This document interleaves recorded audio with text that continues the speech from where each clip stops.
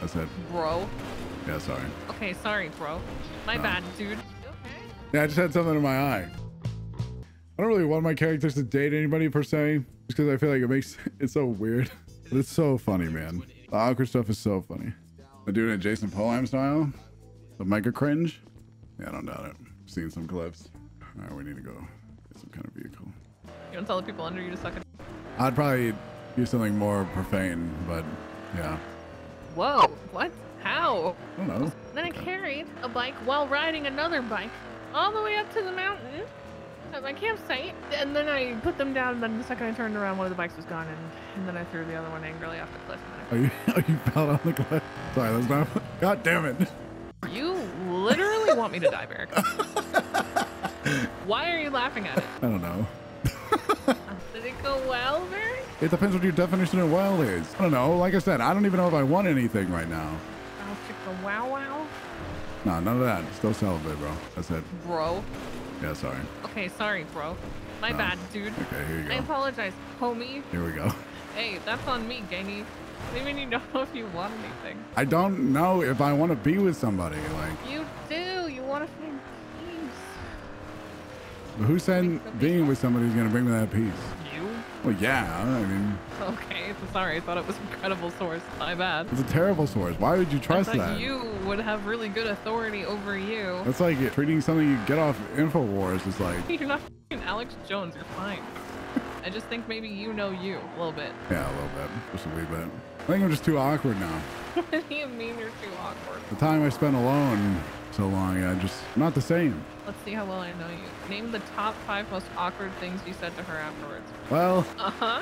I guess it starts with saying, you know, I'm sorry I'm really antisocial, a small social battery. Mm-hmm. Same. Um, I really don't like people too much, even though I basically every choice I make is determined by just trying to help other people. What'd she say to that? Uh, pretty sure it was just that she was the same. Food. It's not even awkward. I've seen you say way weirder stuff. Like what? Well, at least you didn't tell her that going to prom was unproductive. Yeah, I'm never gonna live that down. Uh, Nope. yeah. I did agree with you. Okay. Is anybody ever okay? We're gonna be friends. You gotta know how to spill the tea with me about girls, and vice Listen, versa. The talk we had was like two days ago. Yeah. So everybody knows that in this city, all great friendships start with tea. This is true. I'm about about to spill some lava hot tea, Really? So you gotta spill some first. All right. I mean, This is pretty much the, the Boston Tea Party right here. the Boston Tea Party, huh? Yeah, no harbor though. No harbor? Hmm. I mean, I don't know. There's not a whole lot of tea. I was just kind of explaining like my whole situation, but like not the whole situation. That tweet was like really bad for the stocks. The one I had the EMS put out. I just didn't want you to like drive all the way up here and then. Yeah, that's all the way back down acceptable. there and then all the But also, it was like it was like right after I got done talking to her, and that was like not a good look. You need to give details. You're being a real dude right now. Okay, tell me what to tell me what the details specifically. Everything. Everything. That's very like the scope on that is huge.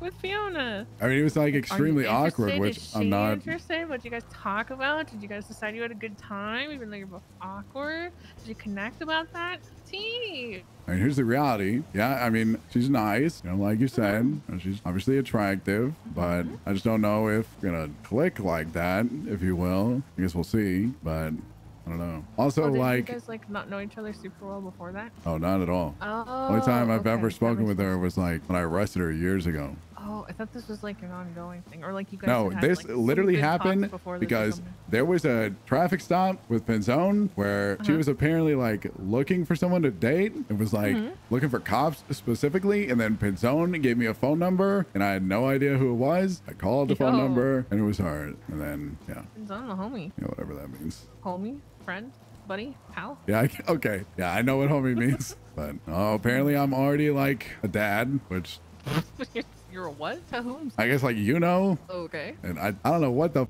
Glorion was being so weird about, but I don't know. How's Glory on the one you're going on about when Hazel's the one that was holding you up? It was a joke. Hazel's?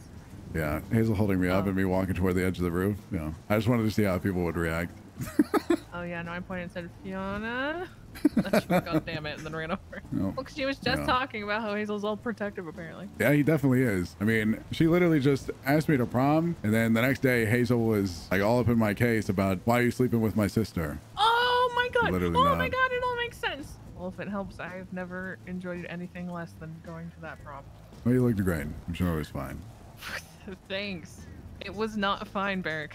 it was the least fine thing to ever happen before we even got there. Finley calls me and says, Andy, will you go to prom with me? And I say, uh, no. I have a million other things I would rather do than go to prom. And he starts going, no, no, one will go with me, and I want to go. Wonder why. And I'm like, okay, go with the girl you're seeing. Go with your girlfriend. He's like, we're not dating, and she's going with someone else. And I was like, okay, well, What? uh, your thing ship, situation ship, go with her. He goes, no, she already has a date, and I can't find one, which means I'm not gonna be able to go, and she's going. And I was like, oh my god, fine, I'll go to the fucking prom with you, but I want you to be aware. Which, by the way, Barry Benson is my brother, and Finn is one of his subordinates.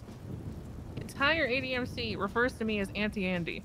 So this boy pretty much took the equivalent of his aunt to prom. And I was like, Finn, that's embarrassing as. He goes, I know it is, but it's the only way I can get it. And I was like, okay, fine. No. Respectable. Probably watched Game of Thrones one too many times, but you know, it's. Uh huh. So I go to Chumash where show. we're supposed to meet everyone, and his situationship is going with someone else. But apparently, the person they're going with makes a comment and says, "Can I trade?" Like th- they find out that Finn's going with me, and they say, "Can I trade you so that I can go with Andy?" Which makes Finn's situationship girl absolutely spiral and go on this drunken tirade of like, "Oh, everybody just wants to go with Andy Jones because she's so pretty and successful. Why doesn't everyone go to the prom with Andy?" Losing her mind. She's stumbling and falling over and I'm on the phone with Tessa and I'm like Tessa this is terrible and then I'm freaking out because I know you're there and I'm like if he doesn't know the relationship Finn and I have it's gonna be weird and that he's gonna think that I was lying about everything I just told him the other day as I go to prom with somebody else and, it, and then I called the guy who was running the whole thing and told him to find me a way out of this if I had to bail and Tessa was ready with a trash truck to pick me up so Yeah, no, I was uh, certainly hoping that that wasn't the case, but even then, you know. no it's it's definitely not the case and if it ever was it would not be with Finn probably be with you One second. huh I'll, I'll be right back. I just one one sec. okay